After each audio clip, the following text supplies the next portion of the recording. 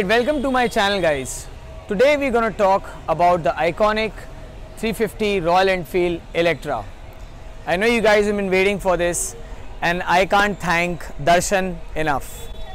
So let's meet the rider who got this bike all the way from Dahisar. He's one of my subscribers and he's so helpful that he got his motorcycle so that I can review it. Right, I'm really glad that Darshan has provided this motorcycle. I think he'll just talk how his experience till now is. So, how do you find this bike? Is it performing well? I bought this bike last month and I am very happy with this bike and enjoying the ride. So, guys, Darshan is very happy with his motorcycle. Uh, the best part about Darshan is we had a chat and we discussed that are there any pros and cons about this bike. He has zero problems till now. His father owns a 23 year old Royal Enfield and this is the image. Yep, that's a Royal Enfield cast iron which his father owns. So the bullet blood is in their family and that's why he bought the iconic Electra. Why he wanted a Bullet 350 is because to have the old world charm which everyone likes, the vintage look. I always like a story from the rider and the passion and the love towards his motorcycle. It could be a Bullet or any other motorcycle. And what I heard from Darshan is the time he sat on this motorcycle, he felt like this is made for him, this is designed for him. He did test ride the Classic, he liked the Classic too, but he found this bike more comfortable, especially the sitting. And he knows that the pillion sitting is much better here and that's why he chose the Royal Enfield Electra. So now let's not waste time and let's move forward to review this motorcycle which is the Electra 350 Royal Enfield. Well, the engine capacity is 346cc and the max power is 19.8 bhp at 5250 rpm. Well, the Electra shares the same engine as the classic 350 which is a 4-stroke twin spark engine with a 29mm vacuum carburetor. Well, the compression ratio is 8.5 is to 1 and the oriented bore is X-stroke ratio which is 70 mm to 90 mm. With this configuration the bike can hit a top speed of 120 km per hour. And this chrome panel looks pretty dope. Well the toolbox and the air filter box looks pretty similar as the standard 500. Let's talk about the fuel tank. This simple yet stylish retro looking fuel tank with the new badging looks pretty cool. The petrol capacity is 13.5 liters.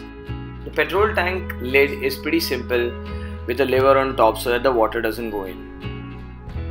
The key ignition is a manual setup so it's just a single switch which shows the neutral indicator. The top speed of the kilometer indicator shows 160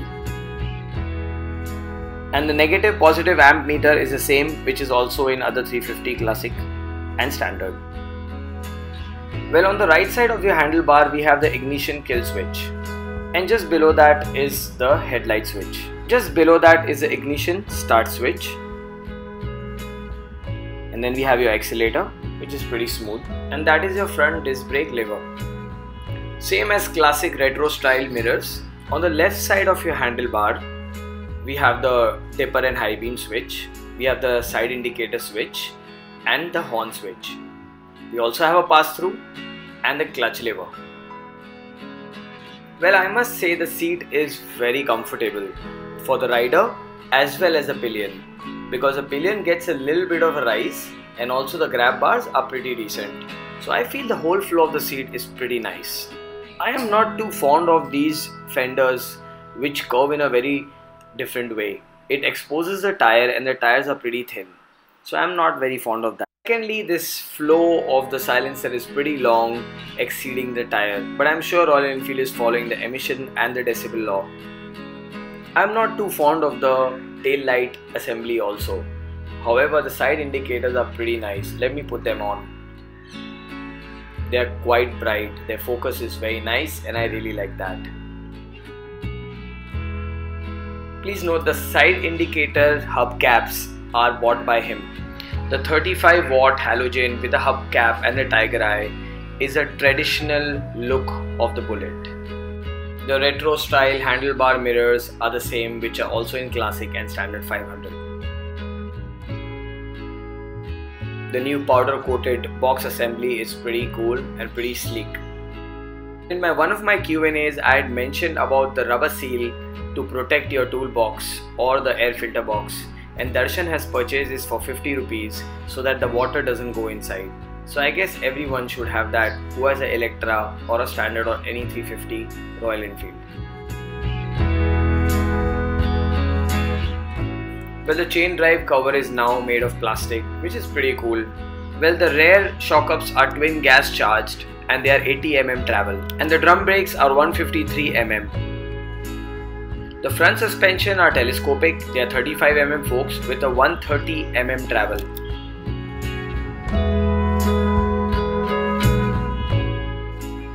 I like the front fenders as they are chrome and they are pretty sleek. I don't find these tires with good grips uh, and if I find them thin too. Let's talk about the disc brake. Well, that's a 280mm disc brake with dual calipers, so they're pretty cool and they are required for any bike which is nearly 350cc. This bike comes with dual horns, which is pretty decent. Yeah, I'm gonna take this bike outside now and uh, give a 360 view and talk about the height, weight, and length of this motorcycle. The wheelbase of this motorcycle is 1370 mm and the ground clearance is 135 mm. The length of this bike is 2140 mm. If you talk about the width, it's 810 mm and the height is 1120 mm. So we are looking at anywhere with a curb weight of 187 kilos for the bullet.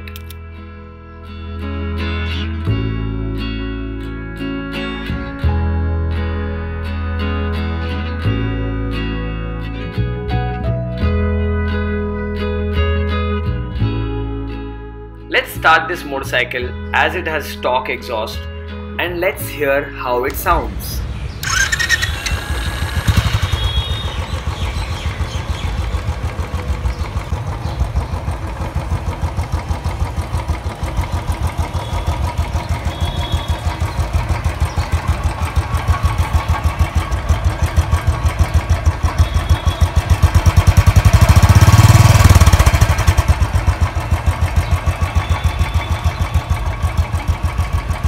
Alright guys, I have just uh, hooked the camera on the bike. Yeah, it's gonna be focused on me because I want to be interacting while I'm riding this so I can talk to you guys and mention how it feels. I'm just taking a spin in the building and uh, the exhaust is not changed yet because he's just waiting for a few kilometers to get over and then he'll be changing the exhaust as per his choice and uh, I think we're good to go. So let's take a small spin and see how this bike feels. The engine is very smooth because it's a new engine and uh, it's a great feeling. Yeah, it is a little underpowered than the 500 definitely, but the pickup is pretty quick. So I think all the bullet people who are looking for a nice comfortable bullet ride, this is really nice. The, the build quality of this bike is very much like the standard 500, but the power in the pickup is little less than 500. Uh, though it's pretty swift uh, it's pretty good to maneuver around. The handlebar is perfectly right uh, till the length which you need to reach. I'm 5 feet 8 and a half inch uh, and uh, Darshan is around 6 feet tall right? 6 you don't know your height okay. Okay so I'm 5 feet 8 and a half inch uh, tall and I can uh, really fit well on this bike and take it for a very very long ride yep overall a good short ride and felt really nice I'll definitely ride longer but Darshan doesn't have much time so I'm gonna release this bike and give it to him Alright, that was a review of the Electra 350. I hope you guys enjoyed it. If you really liked it, please give me a thumbs up. Please put your comments below. And as usual, eat well, sleep well, be good. Signing off, Ride with Raj.